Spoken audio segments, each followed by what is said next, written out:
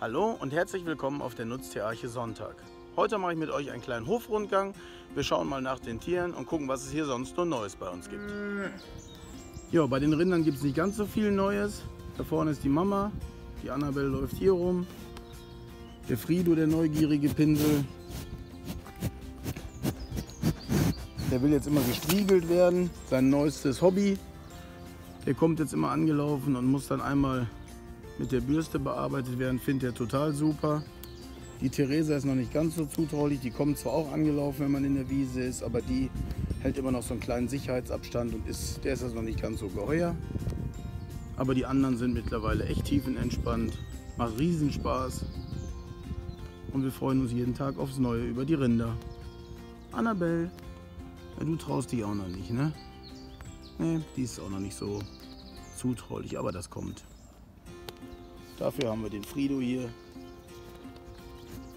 Das ist der Allergeilste. Sieben Jahre alt. Voll die fetten Hörner, aber ganz lieb. Unser Teich ist auch endlich repariert. Wir hatten hier im Winter das Problem, dass schlagartig die Hälfte vom Wasser raus war. Äh, an der Wasserlinie, die dann übrig blieb, war nicht zu erkennen, wo das Wasser aus dem Teich entweicht. Wir haben dann die Pflanzen alle rausgenommen, die Steine rausgenommen, haben das Wasser abgepumpt, haben äh, kein Leck gefunden, haben also wirklich lange rumgemacht und nichts gefunden. Am Ende hatten wir dann die Idee, die Teichfolie an der Wasserlinie, an der ehemaligen Wasserlinie, wo das halt die ganze Zeit gestanden hat, mit dem Hochdruckreiniger sauber zu machen. Das hat dann nach einer Dreiviertelstunde dazu geführt, dass wir in der Tat das Loch gefunden haben. Das war ein ganz kleines Loch. Wir konnten da einen Zahnstocher reinstecken. Und äh, ja, haben das dann mit dem Hochdruckreiniger gefunden, abgedichtet. Muss mal gucken, ob man das hier vorne sehen kann. Ja, ich hoffe, man sieht das. Da unten, da ist der Flicken drauf. Jetzt haben wir seit zwei Tagen das, den Teich wieder unter Wasser stehen. Und es ist dicht. Und jetzt sind wir der Hoffnung, dass wir jetzt die gleiche Artenvielfalt wie im letzten Jahr hier bekommen. Wir hatten hier Eidechsen, Frösche, Fische, Libellen, Insekten ohne Ende. Und wir hoffen jetzt, dass der Teich sich dahingehend wieder erholt, dass das im Prinzip genauso weitergeht wie vorher. Wir werden sehen. Aber erstmal ist er wieder dicht. Wasser ist drin, Wasser bleibt drin. Frösche sind auch drin, das wissen wir sicher. Und jetzt gucken wir, dass die anderen Tiere auch wieder zurückkommen. Und dann haben wir hier ein schönes Biotop. Macht auch Riesenspaß, abends hier zu sitzen und einfach nur zu gucken, was hier los ist. Unglaublich. So soll es sein. Nachdem wir Stine nun vor einiger Zeit einsperren mussten, haben wir jetzt Stromlitzen gezogen. Da hinten knallt es gleich. Genau. Also die, die Ferkel müssen sich jetzt erstmal an den Stromzaun gewöhnen. Wir haben jetzt hier umlaufende Litze, da hinten die Palette, die Stine weggerissen hat, die habe ich jetzt an der Wand verdübelt und mit Winkeln gesichert, Strom dran gemacht. Stine kennt das mit Strom, die Ferkel leider nur noch nicht. Hier vorne sieht man jetzt auch, hier ist eine Litze dran entlang mit Abstandshaltern, damit die gar nicht erst auf die Idee kommen, sich unterm Zaun durchzubuddeln. Ja, helle Aufregung, weil die Ferkel natürlich die Stromlitze nicht kennen. Die sind da jetzt schon ein paar Mal dran gekommen. Aber die werden das relativ schnell lernen und dann wissen, okay, Strom drauf. Quietscht und knatscht ein bisschen, wenn wir da, wenn wir da dran kommen. Ah ja. Aber ich denke mal eine gute Stunde, dann wissen die Bescheid, dann ist das Thema durch, weil diese Ausbrecherei geht gar nicht. Und jetzt, ja, sind sie gut untergebracht. Mama kennt das mit Strom, die ist da noch nicht einmal dran gekommen. Die lässt die Kleinen jetzt erstmal werkeln. Ja, aber sie können wenigstens wieder raus. Bei dem tollen Wetter war es ja eine Schande, dass die im Stall stehen musste. Aber jetzt ist alles wieder gut. Sie fängt auch sofort an zu buddeln hier. Das übliche Schweinegehabe.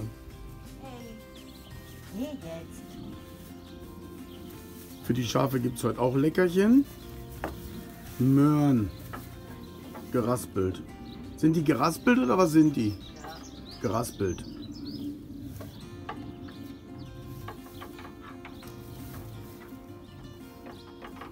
Lecker.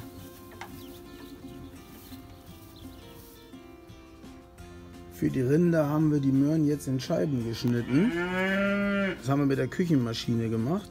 Feine Scheiben wie für einen Möhrensalat. Und jetzt werden wir mal schauen, ob die Rinder da genauso einen Spaß dran haben wie die Schafe. Ja, dann gehen wir jetzt mal zusammen zu den Rindern und schauen, ob die den Salat hier auch mögen. Die haben zwar heute schon zweimal Kraftfutter bekommen, aber am Ende wollen wir sie ja doch verwöhnen.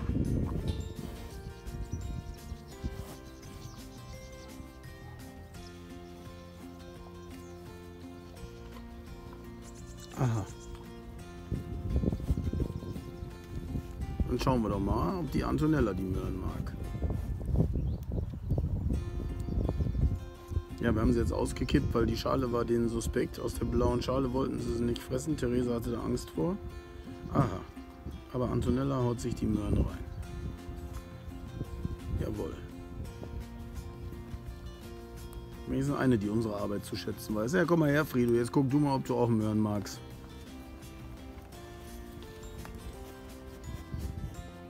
Die Hühner sollen natürlich heute auch nicht leer ausgehen. Die bekommen jetzt geraspelte Möhren. Da sind drin Äpfel, Zwiebeln, zwei Knoblauchzehen, Oregano. Das Ganze soll die Abwehrkräfte der Hühner stärken, entzündungshemmend wirken. Ja, und gleichzeitig haben sie Spaß dran, mal kleingemachtes Gemüse zu fressen. Das bringen wir jetzt mal zu den Hühnern. So, und die große Hühnertruppe hier die findet das richtig gut.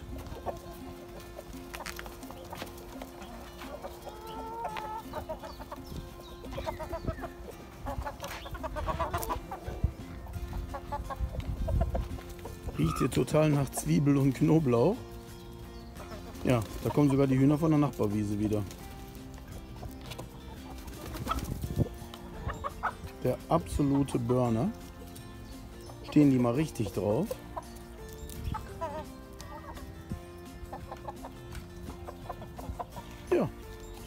Haut mal feste rein, damit ihr noch viele leckere Eier legen könnt. Bei den kleinen Schweinchen gibt es auch nicht viel Neues zu berichten, außer dass jetzt der ganze Bereich unterm Dach hier richtig trocken ist. Der, äh, wir haben ja die letzten Samstage immer gehofft, dass wir hier rein können, um was zu machen, aber es war immer noch so, dass es echt in der Tiefe noch total nass und schlammig war. Vorhin war ich hier drin, richtig trocken. Also man sieht es auch an den Löchern, die die hier buddeln. Da ist kein Wasser mehr drin. Das ist zwar jetzt noch leicht feucht, aber es ist jetzt nicht mehr so, dass es schlammig ist. Es ist jetzt richtig abgetrocknet. Und jetzt können wir am Samstag endlich anfangen, hier die Zwischenwände einzuziehen, die Unterteilungen zu machen, sodass wir dann alle Schweine hierher umsiedeln können. Der Bereich hier, wo vorher der Athos gestanden hat, der ja im Prinzip aus flüssiger Matsche bestand, ist jetzt auch getrocknet. Hier bin ich vorhin mal durchgelaufen. Man sieht die Fußabdrücke. Es ist begehbar, sodass wir jetzt also demnächst auch dann die Schweine wirklich hier rauslassen können, damit die dann wieder einen Auslauf und einen Stall mit Dach über dem Kopf haben, sodass die dann auch endlich vernünftig untergebracht sind. Schweinewellness vom Allerfeinsten.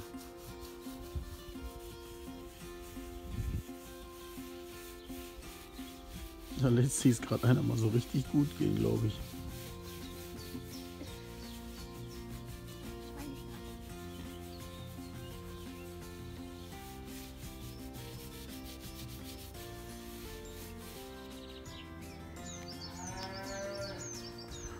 Vorm Haus hat Diana jetzt auch schon mit dem Bauerngarten angefangen.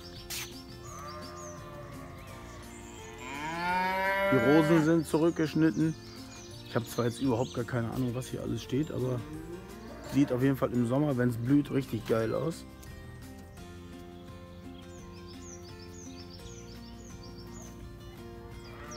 Ja, die meisten Sachen sind sauber gemacht. Hier vorne sind die Rosen zurückgeschnitten.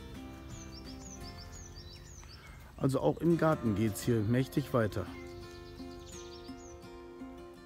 Ja, wir sind jetzt überall gewesen. Wir haben alle Tiere besucht, die Schafe, die Hühner, die Schweine und natürlich auch die Rinder. Bei den Rindern ist im Moment am meisten los. Den Teich haben wir gezeigt, den Vorgarten mit dem Bauerngarten. Ja, ich denke, das ein oder andere habe ich bestimmt vergessen, aber im Großen und Ganzen waren wir jetzt erstmal überall. Ich hoffe, das Video hat euch gefallen. Vielen Dank fürs Zusehen und bis zum nächsten Mal.